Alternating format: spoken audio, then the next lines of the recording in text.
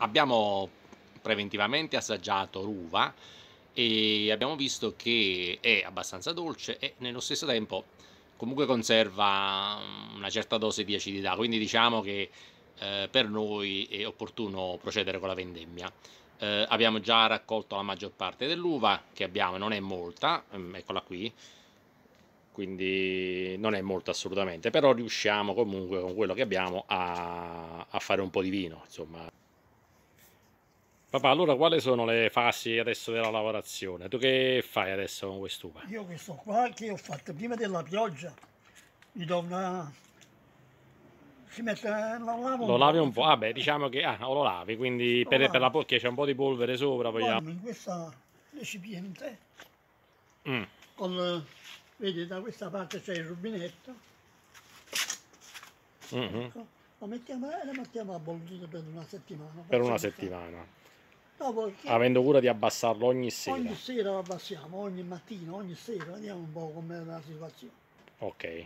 Poi tiri fuori il liquido... Poi togliamo il liquido, il resto rimane, lo torciamo Ok. e mischiamo tutto insieme. Ho capito, va bene. Vabbè, Ok. poi vediamo man mano. Adesso procediamo quindi con La lavatura. la lavatura, la separazione dai raspi e la pigiatura. La pigiatura.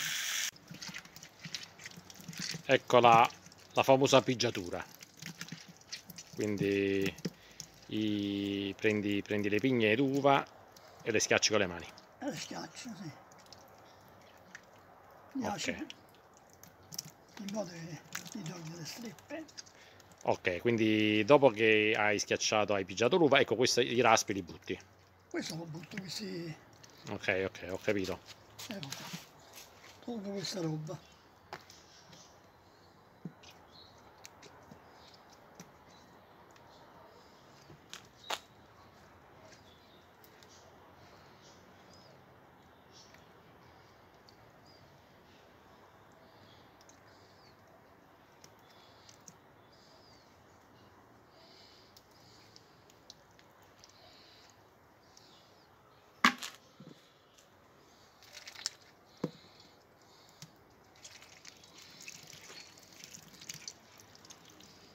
Quando ero piccolo io, mio nonno mi, fa- mi faceva togliere le scarpe, mi faceva, lavare i piedi Ah, e mi eh, portava dentro al tino. vabbè, quando l'uva era in quantità Abbastanza. era parecchia, E certo. allora sì. E si usava, certo. E mi pigiava, si pigiava con i piedi. I bambini pigiavano con i piedi. Eh.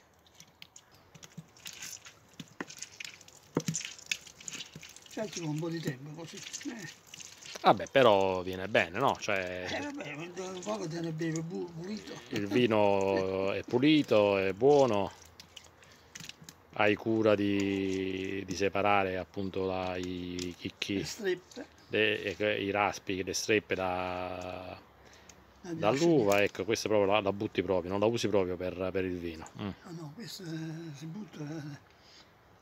Poi quello che viene torchiato è, è quello che rimane dopo aver tolto il vino da questa Dopo vasca. praticamente. il sugo, Mhm. dopo 7-8 giorni, 6 o 7 giorni, quando vogliamo. Ora che sembra così, bastano pure 5 giorni. Sera e mattina si abbassa e lo torchiamo. Pigliamo gli acidi che rimangono e lo torchiamo. E poi, e poi de- devi ri- rimischiare quello che esce dal torchio, dalla torchiatura, lo, lo- lo Sì, mischi. lo mischiamo assieme a questo qua. Ho capito. Va bene, poi vediamo. Abbiamo ultimato la fase della pigiatura e della diraspatura. Abbiamo estratto il liquido dai chicchi d'uva con una santa pazienza perché chiaramente con le mani ha richiesto veramente molta pazienza.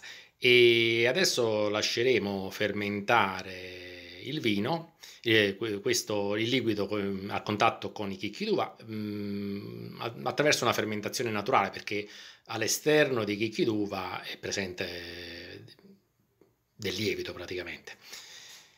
Eh, non è venuto poco, ma neanche molto, circa una spanna di questo sì, contenitore.